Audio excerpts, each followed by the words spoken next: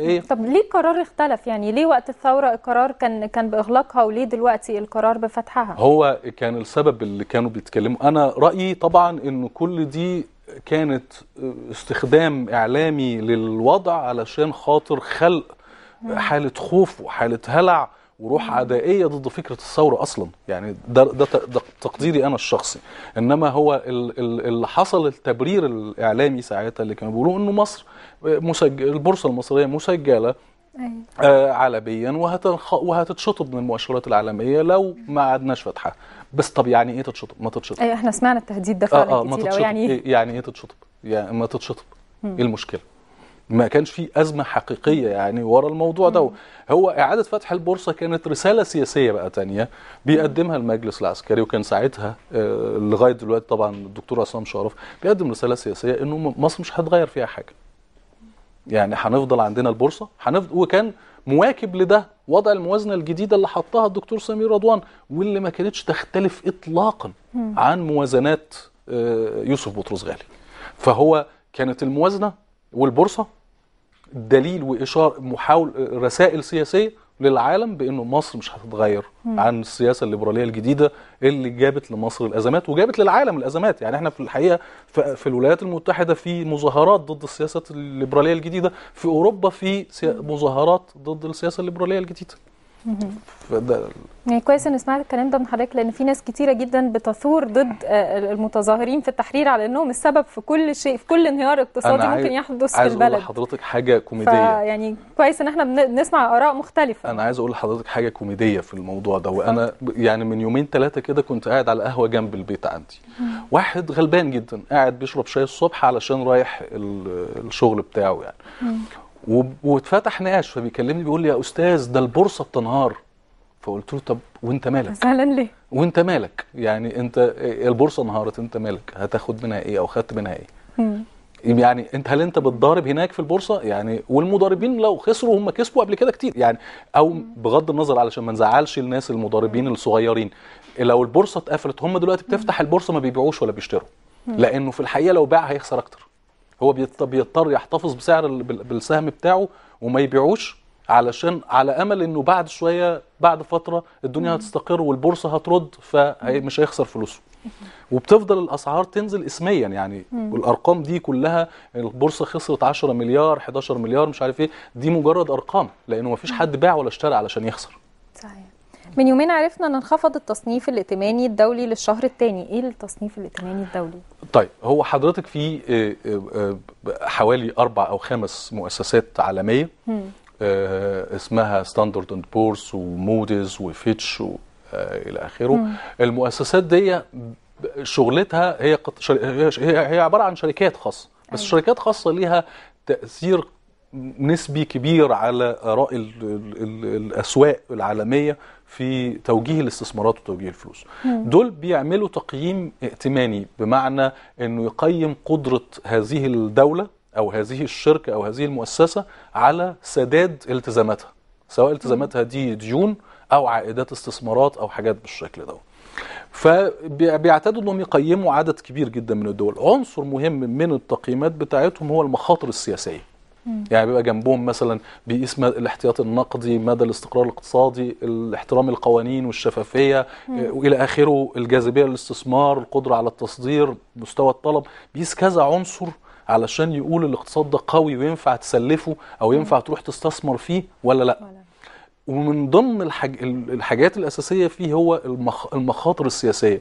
ممكن حكومات ديكتاتورية بتتقلب كتير وبتت... و... ويحصل انقلابات عسكرية كتير. المخاطر السياسية عالية جدا. فاللي يسلفك يسلفك بسعر فايدة غالي جدا. أو ما يسلفكيش خالص. يعني فدي القصة دي قصة ال... ال... ال- التقييم ال... ال... ال... الائتماني. التقييم الائتماني خ... نزل م- آه لمصر مرتين خلال السنة دي كلها. بس ده طبيعي جدا ولا خطر إطلاقا عليه. التقييم الائتماني لأمريكا نزل مرة خلال السنة اللي فاتت. يعني هو مفيش- أنا كمواطن عادي أتأثر إزاي بالتقييم الائتماني ده؟ آه، لا هو هو هو ما فيش أثر مباشر. هو كل الحكاية إنه الشركة المؤسسة دي موديز أو Standard and Poor's أو فيتش أو كده بتقول للمستثمرين الأجانب أو للأسواق الخارجية يا جماعة مخاطر استرداد الفلوس والأرباح للمستثمرين في مصر سواء دائنين أو ناس راحة تجيب استثمارات وتحطها جوه البلد دي عليت بنسبة مقدار نقطة مثلا أو نقطتين. هي وضعها دلوقتي محايد وضعها دلوقتي مشجع وضعها دلوقتي خطر. إلى آخره يعني. فبيقول ال- الإشارة بتاعته دي المستثمر بعد كده لو هو الإشارة خطر بيسلفك بيسلف الدولة بنسبه ب ب ب بسعر فايدة عالي. أو لما بيجي هنا يبقى لازم تحققي له أرباح كبيرة علشان خاطر يرضي يستثمر هنا. ممكن تأثر على الاستثمارات الأجنبية وعلى قدرة مصر على الاستدانة من الخارج. دول الأثرين المباشرين. الاستثمارات الأجنبية هتأثر طبعا لأنه إحنا دلوقتي بنعاني خلال الفترة اللي فاتت دي من زيرو استثمارات أجنبية جديدة. وكل ما تزيد مخاطر الائتمان آه، على مصر كل ما يزيد الأرقام اللي بالشكل ده الخطر اللي بالشكل ده كل ما يتردد المستثمرين في إنهم يجوا يفتحوا استثمارات جديدة في مصر. وكل ما يزيد الخطر ده كل ما مصر تيجي تستلف من الخارج تستلف بأسعار فايده بفايدة أكبر. بفايدة أعلى. طب. آه، آه، الاحتياطي النقد من من الدولار ده ممكن يكون تأثيره عامل إزاي وأنا احله إزاي في الفترة الجاية؟ هو هو دلوقتي في الوضع الحالي اللي إحنا فيه مفيش خطر على الاحتياطي لسه ما وصلناش لا، الخطر ما وصلناش. إحنا المرحلة اللي ممكن نقول عليها خطر لما يكون ال- الاحتياطي النقدي ما بيغطيش غير ثلاث أشهر واردات. ثلاث أشهر واردات نقول ابتدينا نروح للخطر. إحنا دلوقتي بنغطي خمسة وسبعة من عشرة أشهر واردات فاحنا بره مساحة الخطر. بس طبعا إحنا مش محتاجين نوصل لمرحلة الخطر. هنا مفروض نتكلم بقى مع الناس اللي بتحكم. يعني الناس اللي بتحكم إحنا ال ال السبب الأساسي في انخفاض الاحتياطي حاجتين. هروب المستثمرين اللي هروب الأموال اللي خرجت من البورصة دي واحد. اتنين انخفاض ايرادات السياحة. لكن بالنسبة مثلا لتحويلات العاملين المصريين من الخارج زادت. ايرادات قناة السويس زادت. العجز التجاري قل. يعني الفرق ما بين صادراتنا ووارداتنا قلت. فكل المؤشرات التانية جيدة بالنسبة لل... لل... للاحتياطي إن هو يعيش كويس. ما عدا حاجتين السياحة وهروب الاستثمارات ودول مرتبطين ارتباط بالأمن. وثيق جدا بالأمن وبالعدم الاستقرار السياسي. يعني اللي نقول ثلاث خطوط تحت جيدة ونقول إن إحنا عندنا مشكلة في أمن. في خطر. يعني ال... ال... الوضع ده لو استمر لو استمر هيبقى خطر. فأنت في النهاية لا الناس اللي ماسكة الدولة دي تبقى آمينة على ال ال ال ال ال ال البلد دي وعلى شعبها وتبتدي تغير بجد عدم الاستقرار السياسي اللي موجود في مصر. سببه إنه مفيش رغبة في التغيير كأن ثورة لم تحدث. طب عشان القائمين على البلد ومن يحكم البلد دلوقتي يكون أمين ويكون ضميره صاحي حضرتك بتقول بت- بتشوف إزاي رئيس الوزراء القادم سواء يعني آه، آه، ظل آه، دكتور كمال الجنزوري أو كان أي شخص آخر المفروض يعمل إيه عشان يدعم الاقتصاد المصري؟ بعيدا بقى عن سياسة التخويف والإرهاب وكل اللي إحنا. بنسمعه أول حاجة المفروض يعملها الدكتور كمال الجنزوري إنه ما ياخدش الوزارة لأنه مرفوض. ده الحقيقي. الحقيقي إنه إحنا دلوقتي عندنا مشكلة زي ما حددناها كده عدم استقرار سياسي خلاص وفوضى أمنية. دول المشكلتين الأساسيين اللي معظمين تأثير الأزمة الاقتصادية في المستقبل أو خطر تأثير الأزمة الاقتصادية في المستقبل على الاقتصاد المصري. طيب إحنا عايزين نعمل استقرار سياسي أول حاجة. الاستقرار السياسي مش هينفع تضحي بمطالب ثورة. في النهاية الناس دي عملت ثورة. ومات منها ناس. مش ممكن يستقر الوضع وانت جايب لهم ناس هم رموز نظام مبارك. الحاجة الثانية الدكتور كمال جنزوري مع كل احترامنا ليه هو من مدرسة الليبرالية الجديدة اللي صار عليها الشعب المصري في الحقيقة. هو اللي تمت الخصخصة في عهده. هو اللي اتعمل آه، مشروعات وهمية وفيها ضخ أموال كتيرة جدا من الشعب المصري في عهده بلا عائد زي مشروع توشكا وشرق التفريعة.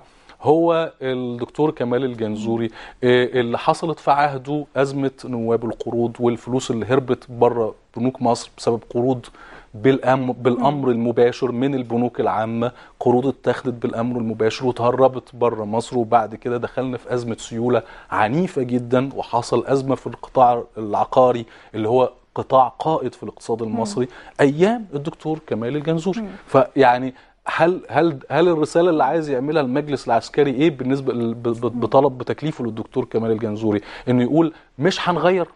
يعني حضرتك شايف إن هو يرفض هذا التكليف تماما عشان الأوضاع تستقر ونرضي الشعب المصري؟ بالظبط وعلشان كمان يبقى ويجي حد يبقى فيه رسالة واضحة إنه في تغيير. يعني مش هينفع للمجلس العسكري مش هينفع ما يقدمش رسالة تقول إنه في تغيير حقيقي يحدث في مصر. كل اللي بيعمله للأسف الشديد في إصرار على إنه يقول للناس مفيش تغيير هيحدث في مصر. رموز نظام مبارك سياسات نظام مبارك نفس الشكل. ف... فده ال- يا رب يكون كل الناس تبعت الفقرة دي عشان مهمة جدا وعشان لما حد يجي يقول لنا الدولة بتنهار والدولة بتقع نتيجة اللي بيحدث في ميدان التحرير نقول له لا أنت عندك خلل أرجوك ركز وحل الخلل اللي عندك الأول. أستاذ رمضان متولي مدير تحرير جريدة المال بشكر حضرتك جدا نورتنا. نهارك سعيد. شكرا. نهارك سعيد. مشاهدينا خليكم لسه معانا فقرات في نهاركم سعيد.